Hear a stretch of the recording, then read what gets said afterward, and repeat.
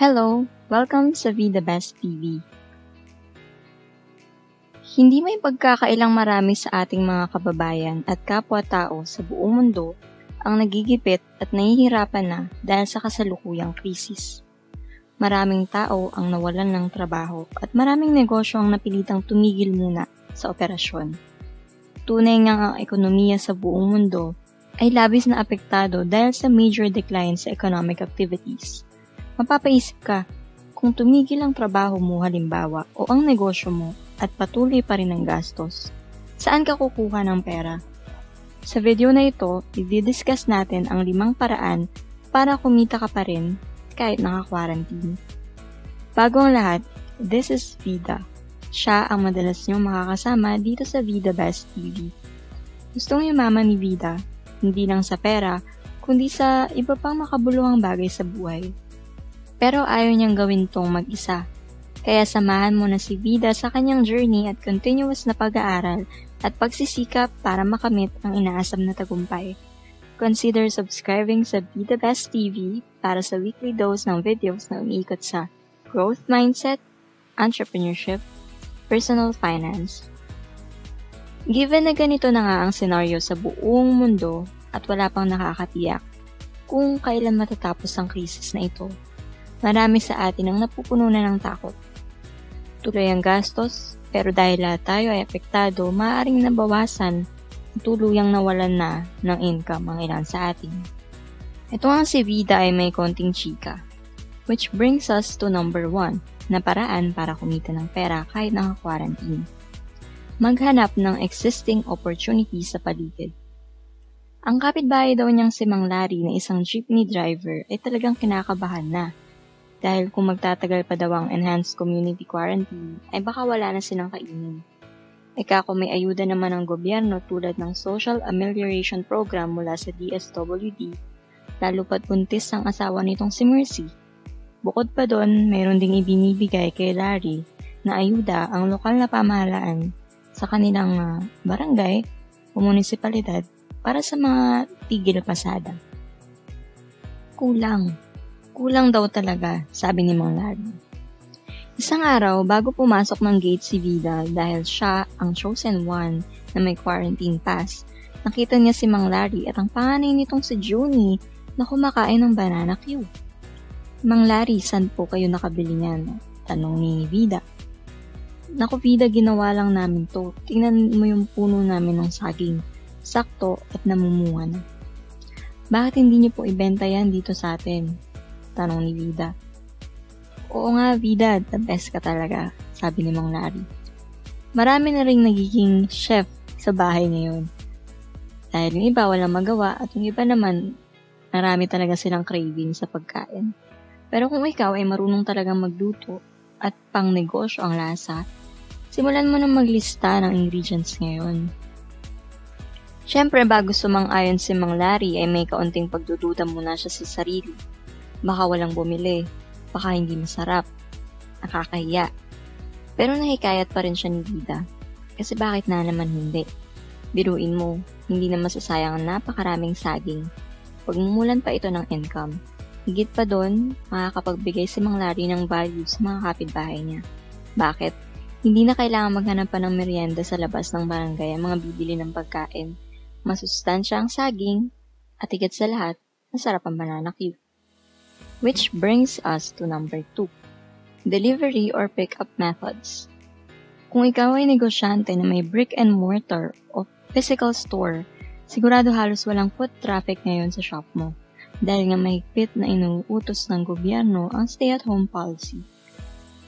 Marami nang nagdaang krisis at tunay ngang sinusubukan nito ang resilience ng mga negosyante, malaki man o maliit.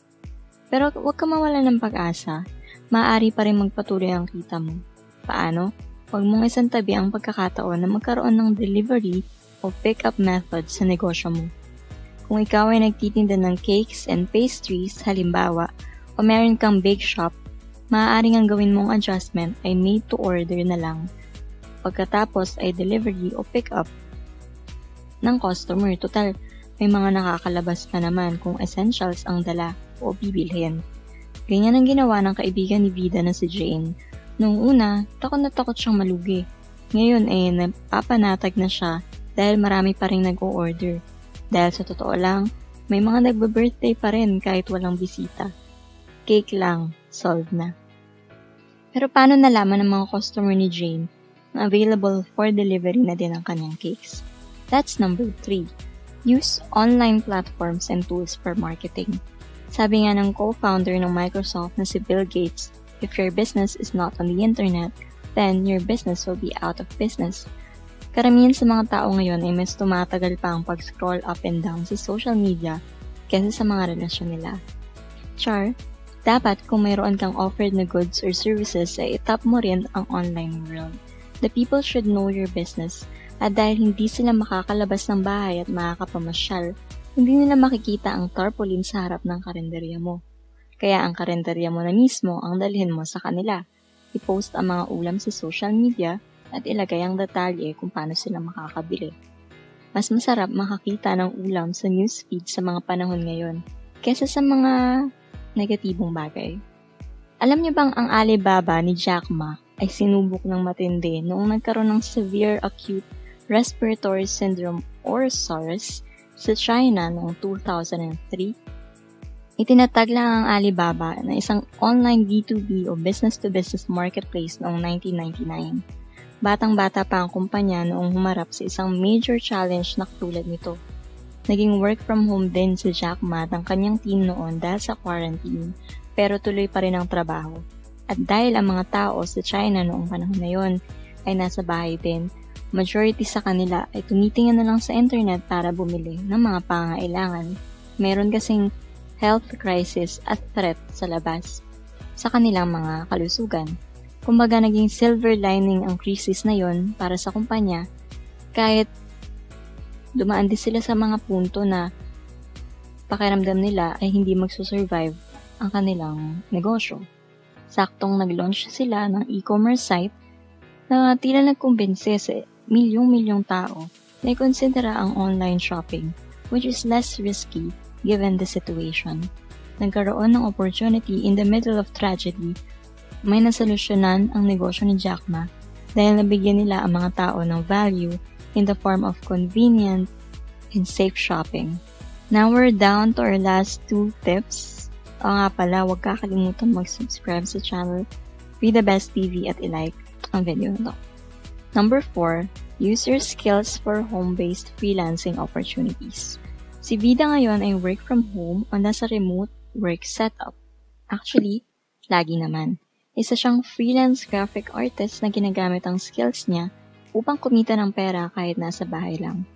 Magaling sa graphics si Vida, kaya sinubukan niyang mag-reach out sa isang maliit na kumpanya sa United States na nangangailangan ng graphic artist para sa kanilang mga websites gamit lang ang isang social media site.